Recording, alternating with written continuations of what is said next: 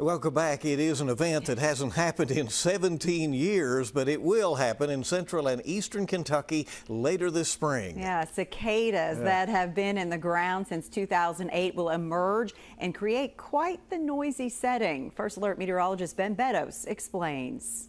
As we get closer to the summer months, more and more people are going to be outside enjoying the warm weather.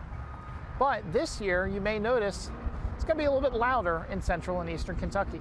That's because billions of cicadas will emerge from the ground for the first time in 17 years. Brood 14 that's going to emerge across much of central and eastern Kentucky. Brood 14 is one of several different broods of periodical cicadas that exist in the United States, and this one is very Kentucky centric. It's Kentucky proud.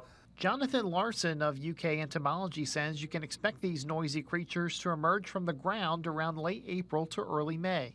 What you would notice is lots of holes in your yard will start to appear as the immature cicadas pull themselves up out of the ground that they've been living in for 17 years.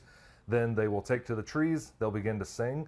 The males recruit other males to the tree, and then they attract females to the tree. They're trying to sing a courtship song with them. Larson says the cicadas will primarily just be a nuisance.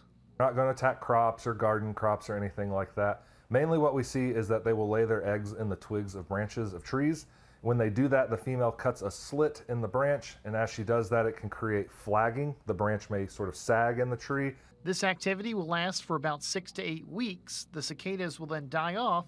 The new cicadas will hatch later in the summer and then head into the ground until they reemerge 17 years from now.